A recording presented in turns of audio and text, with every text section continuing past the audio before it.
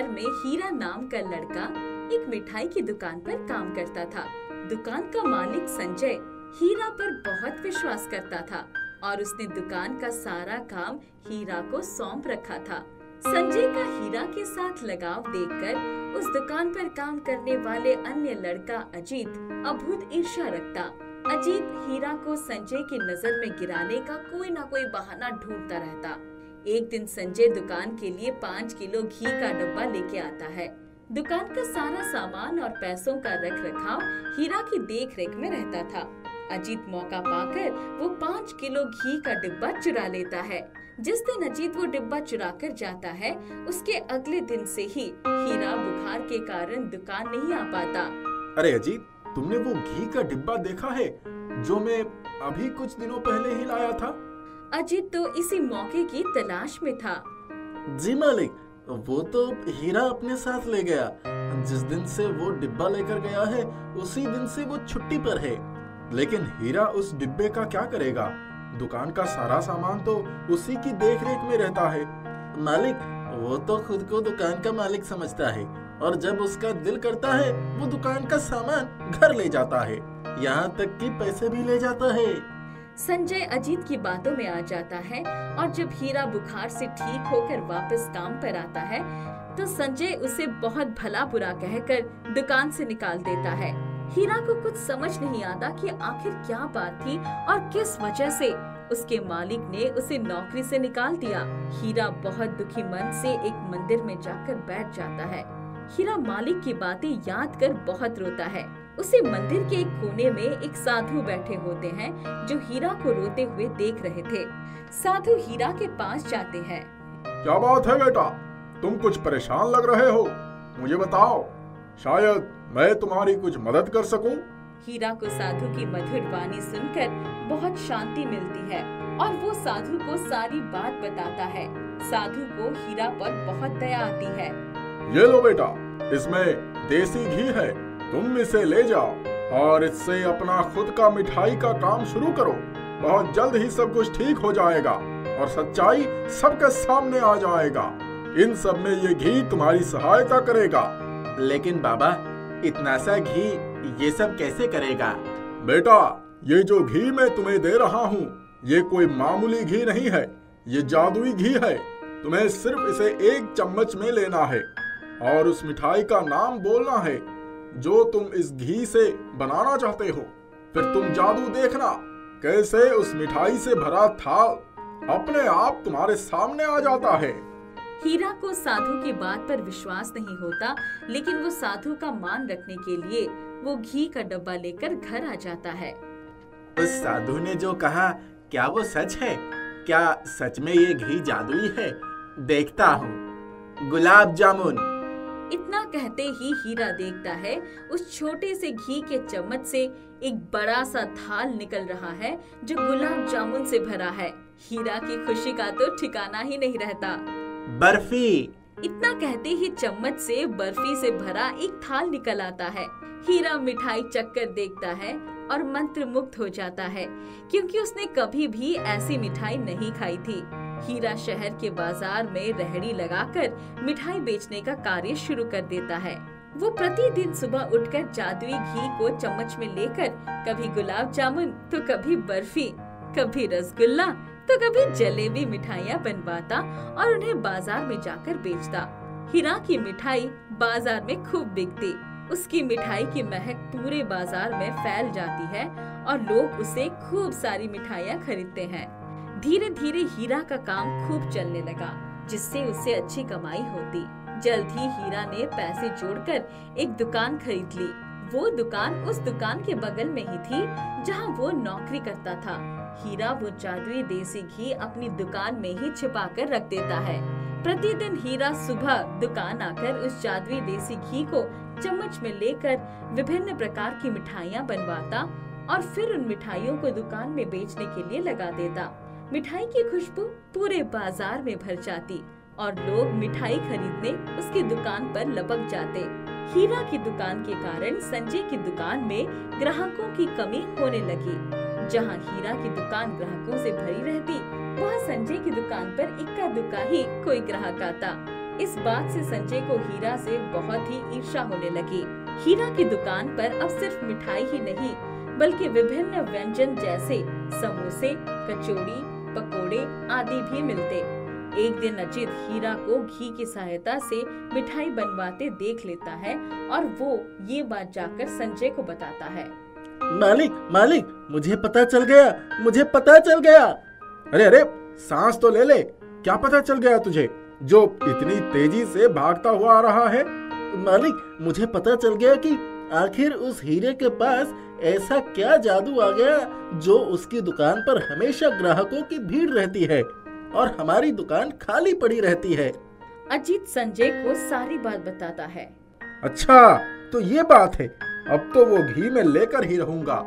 संजय अजीत के साथ मिलकर उस घी को चुराने की तरकीब निकालता है और मौका पाकर वो घी का डिब्बा हीरे की दुकान से चुराकर अपनी दुकान पर ले आता है। जलेबी संजय के इतने कहते ही वो जलेबी से भरा घी जिसकी महक पूरी दुकान और दुकान के आसपास फैल जाती है। संजय इस प्रकार घी की सहायता से गुलाब जामुन, बर्फ़ी, पेड़ा, समोसे, कचौड़ी आदि चीज़ें भी बनवाता है। संजय की दुकान इन सब चीज़ों की महक से भर जाती है और आसपास भी इन चीज़ों की खुशबू फैल जाती है। संजय की दुकान पर भी ग्राहकों की भीड़ लगने लगती है। और लोग उससे मिठाई समोसा कचौड़ी आदि चीज़ें लेके जाने लगे। अब संजय को हीरा को नीचे दिखाने का मौका मिल गया। लेकिन उसकी चोरी की ये दुकान ज़्यादा देर न चली। अब भाई साहब ये ले जाइए आपकी जलेबी। आप ही खाइए ये नमकीन जलेबी चटनी के साथ। मुझे तो मेरे पैसे वापस चाहिए। अरे ये लो भाई तुम्हारा समोसा और मेरे पैसे वापस करो। क्या कभी समोसा नहीं खाया तुमने? समोसे में नमक की जगह चीनी भर दी गई है। अरे चीनी वाला समोसा? नमक वाली जलेबी? ये आप लोग क्या कह रहे हैं? अरे भाई अगर तुम्हें हमारी बात पर विश्वास ना हो रही है तो खुद ही चक्कर देख लो। संजय जैसे ही जलेबी और समोसा चखता है वो वैसे ही निकलते हैं जैसे ग्राहक बता रहे थे। नमक वाली जलेबी और चीनी वाला समोसा। धीरे धीरे और भी ग्राहक जो संजय के सामान लेकर गए थे उसे सामान वापस देकर पैसे लेने आ जाते हैं।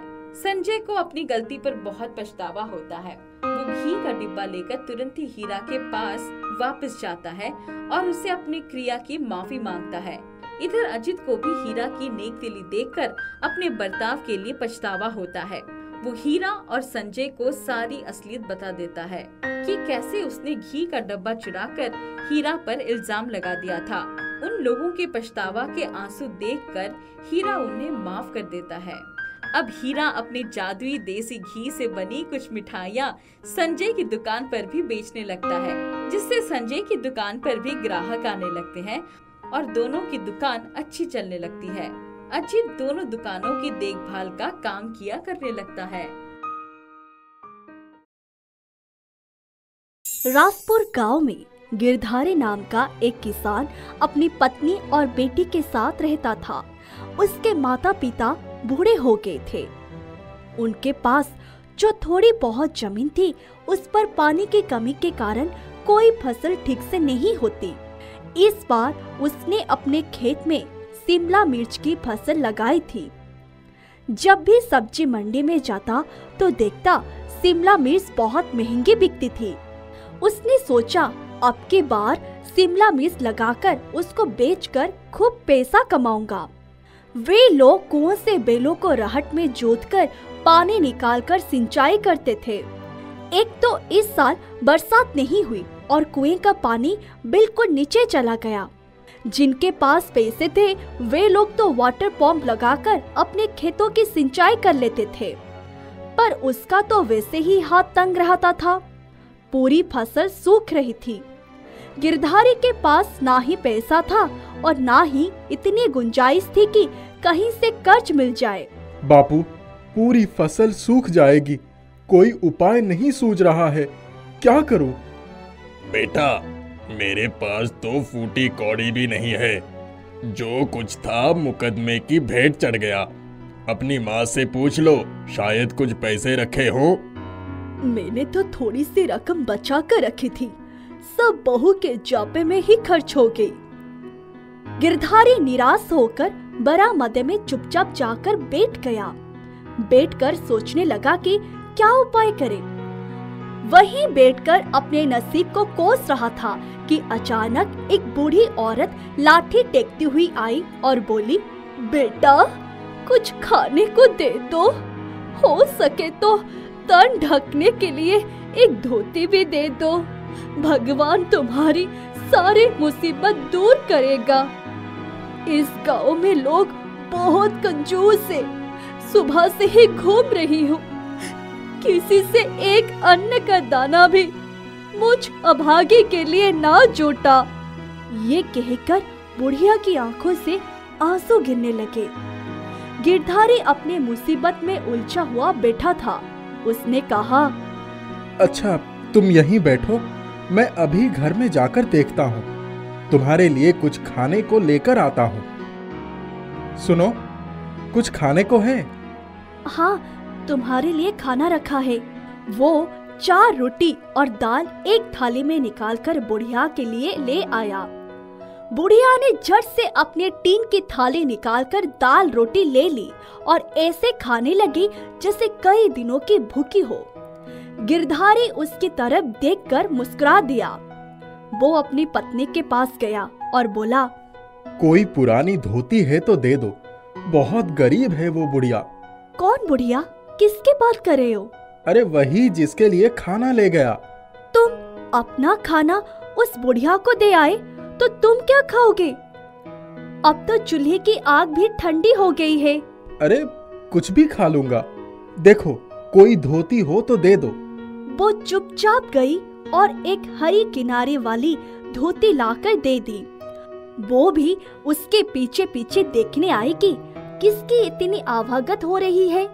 जब उसने बुढ़िया को देखा तो अपनी पति से बोली, तुमने बड़ा नेक काम किया। वो बुढ़िया खा पीकर धोती लेकर चली गई। थोड़ी देर बाद जब वो खेत पर पहुँचा तो अपनी कुएँ के पास वाटर पंप की घर घराहट की आवाज़ से चौंक गया। वो जल्दी जल्दी उसके पास गया। तभी उसमें से पानी निकलने लगा और खेतों में बनी नालियों में पानी रेंगने लगा। मारे खुशी के उसकी आँखों से आँसू बहने लगे। उसने वाटर पंप के पानी से अपने मुँह पर छीटा मारा। फिर क्यारियाँ भरने के लिए नाली काटने लगा। जैसे जैसे पानी खेतों के कारियों में भर रहा था, खेत लहा लहा उठा। पर उसकी समझ में नहीं आ रहा था कि ये पंप किसने लगाया। जब वह वाटर पंप के नज़दीक पहुँचा तो वाटर पंप से आवाज़ आई, गिरधारी, तुमने खुद भूखे रहकर मुझ जैसे भिकारीन को खाना खिलाया और तन ढकने को धोती दी। तुम जैसे लोग कभी भी मुश्किल में नहीं रह सकते। मैं जानती थी कि तुम बहुत परेशानी में हो। ये पॉम्प तुम्हारी ही है। अब जहाँ चाहे वहाँ ये पंप लगाकर सिंचाई कर सकते हो। परंतु तुम कौन हो? मैं परी लोक से आई हुई परी हूँ। आज धरती पर इंसानों की दुनिया देखने के लिए आई थी। परंतु वहाँ तो तुम्हारे सिवा कोई इंसान मिला ही नहीं। क्या इस धरती पर सारे इंसान ऐसे ही निर्दयी होते हैं। इतनी स्वार्थी लोग रहते हैं, इसका मुझे अंदाज़ा ही नहीं था। गिरधारी चुपचाप खड़ा उसके बातों को बड़े ध्यान से सुन रहा था। थोड़ी ही देर में वो घर आ गया। खाना खाकर जब बड़ा मदे में बैठा तो लाल, हरे और पीले शिमला मिर्च के बड़े बड़े टोकरी अपने दरवाजे पर खड़े देखकर वो अचंभित हो गया। उसने एक टॉर्च ली और अपने खेत की तरफ़ भागा। वहाँ जाकर देखा कि उसकी मिर्च तो जो की त्यो खड़ी लहरा रही है। वो वाटर पंप के पास जाकर बोला मेरे घर पर किसकी शिमला मिर्च रखी है? उसको बेचकर अपनी जरूरतें पूरी करो। अब से तुम्हें कभी कोई कमी नहीं होगी। तुम बहुत दयालु और कर्मठ इंसान हो। इस बारे में किसी से कुछ ना कहना। जब समय आएगा तो मैं खुद ही बताने को कहूँगा। गिरधारी घर गया। दूसरी सुबह जब वो उठा तो शिमला मिर्च के बड़े बड़े टोकरे बैलगाड़ी में लेकर बाज़ार गया, जहाँ उसको शिमला मिर्च के बहुत अच्छे दाम मिले। उसने घर भर के लिए कपड़े और सामान खरीदा। जब घर आकर सबको दिया तो सभी लोग उसको देखते रह गए।